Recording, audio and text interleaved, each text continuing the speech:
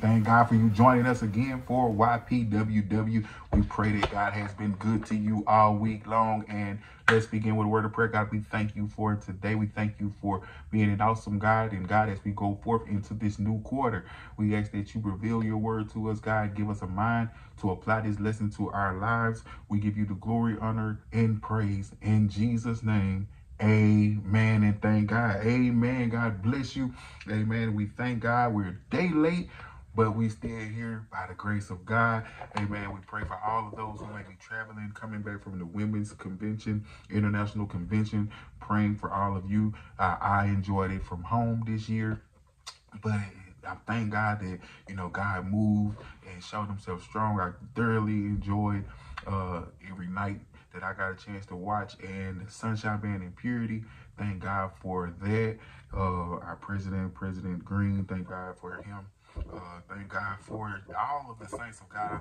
I just enjoyed this women's convention, even though I wasn't physically there. Amen. I ask that you would pray with us, amen, as we get ready to go forth into our vacation Bible school here at Bethel Church of God in Christ this week. It'll be the 6th, 7th, and the 8th. Amen. I think we put the announcement on the beginning of this video. But we won't be before you long because our first lesson in this quarter is know that it's inevitable. And our lesson text is Psalm 107, 23 through 30. And our memory verse is Psalm 107 and 29. And I'll read that for the brief summary of this lesson. The word of the Lord says, He maketh the storm a calm so that the waves thereof are still. Amen. And the word of God is blessed. And so this quarter is basically going to be dealing with the storms of life.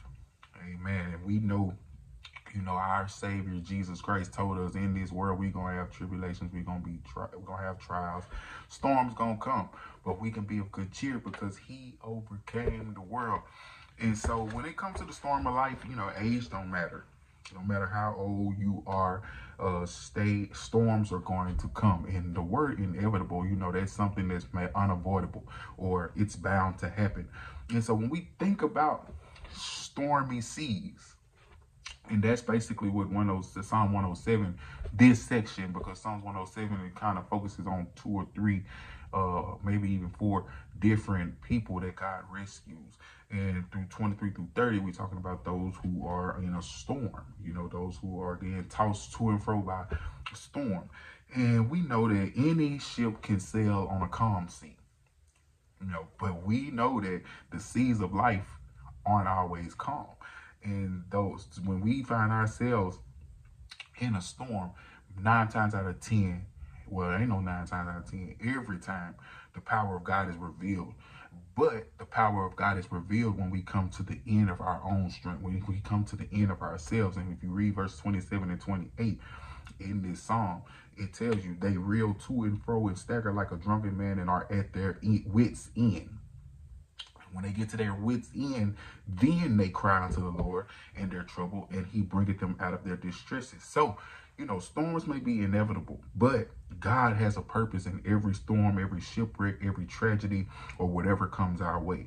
And so for this lesson, it's an encouragement that, yeah, storms are inevitable, but our God remains the same because we got to remember that whatever God allowed to come our way, it's not to kill us, but to draw us closer to him so he can bless us, so he can strengthen our faith.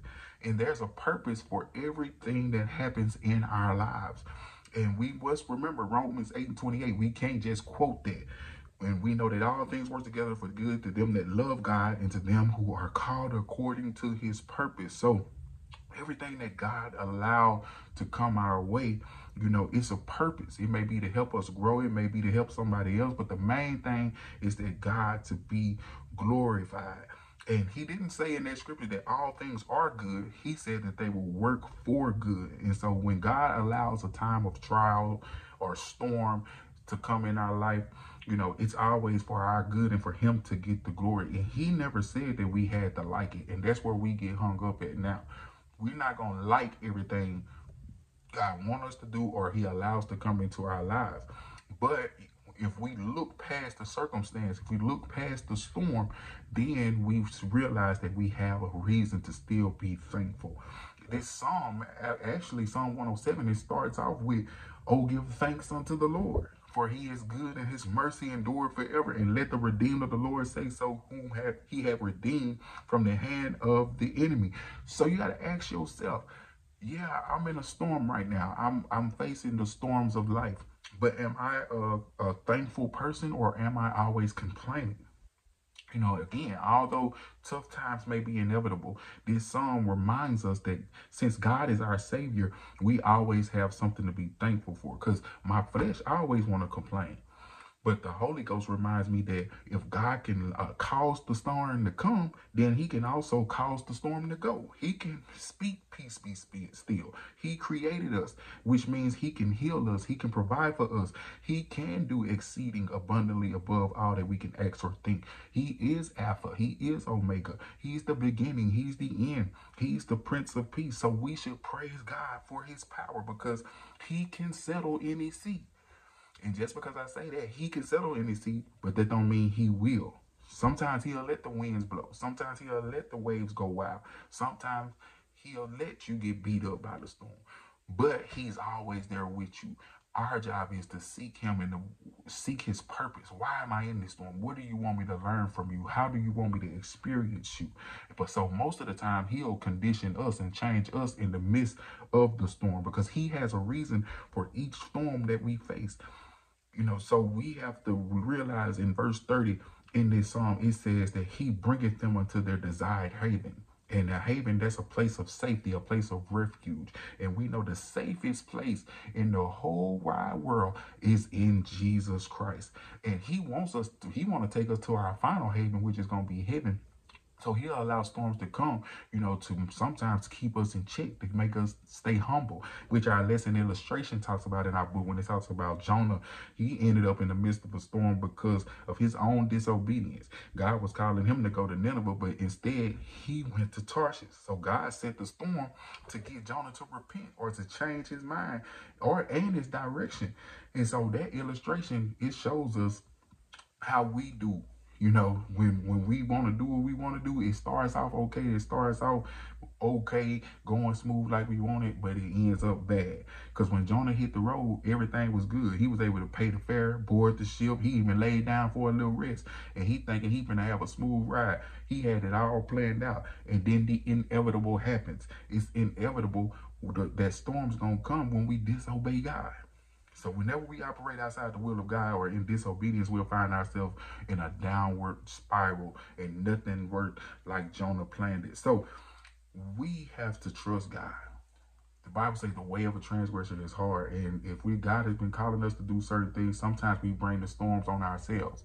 And that's another part of this lesson, you know, that it brings out. And so we have to make sure we're in the right relationship with God. Make sure we in the will of God. Make sure we walking in obedience. If not, then we need to repent. And when you get right with God, He'll preserve you in the midst of the storm. And so we know the storms of life is coming. We know that we're going to have to face some trials. We're going to have to face some tribulations. But yet, we have a God who knows all, who sees all, who's in control of everything. And so we can trust Him to bring us and pull us through the storms that we are going through. Amen. So we thank God for this lesson on the night again. It's, it's a bunch in this lesson, kind of two different viewpoints of this lesson. So it's a lot to bring out. So you're going to have a good time studying it. And let's end with a word of prayer. First, I'm going to give you a question out the book. Let's give you question number three. We just got through talking about this. Certain storms are a result of disobedience. Can these particular storms be avoided? If so, how? Amen. So let's end with a word of prayer. God, we thank you for today. We thank you for who you are. We thank you for your word. We thank you for this quarter. Oh God, encouraging us, teaching us how to navigate through the storms of life and how we can trust you, how we need to be right with you. And we ask God that you forgive us, God, for anything that we said, done, or thought that don't give you glory. For we do want to be right with you. Oh God, we pray for it that you save the sinner, reclaim the backslider, God, and strengthen the saints everywhere. God, we pray and we ask that you help us apply these lessons to our lives as we go and navigate through this next quarter. Oh God, if someone may have an unspoken prayer request, don't know what to pray for, don't know how to pray, we ask that you help them and meet that need. And God, all of those who may be traveling from the Women's International Convention, again, we pray that you protect them. Oh God, as they are on the highways, on the railways, on the on the airways, God. We ask that you protect them and bring them back home safely to their parents and to their loved ones and to their families. Oh God, we give you glory. We give you honor and praise in Jesus' name. Amen. And thank God. Amen. God bless you. God keep you. We are the Bethel Church of God in Christ, Plainview, Louisiana. Thank God for our pastor, Pastor Donald Douglas. Amen. Thank God for Lady Douglas, to my wife. Amen. I'm Elder Marcus Green. Amen. And thank God for all of the saints of God, all of the people of God. If you're not a subscriber, subscribe to the channel. And we pray that these services and these lessons are blessing you as much as they bless us. Again, Next week, we may or may not have a, a YPWW lesson because we will be in vacation Bible school. Amen. So we pray and ask that you pray for us as we go forth, you know, for all ages. I was going to say for the young people, but it's for all ages. And so we pray that you pray with us as we go forth in vacation Bible school, that souls be saved, you know, and lives be changed in Jesus' name. Amen. So we may not have a lesson this week, but we'll see you next time if it be the Lord's will. God bless you. God keep you.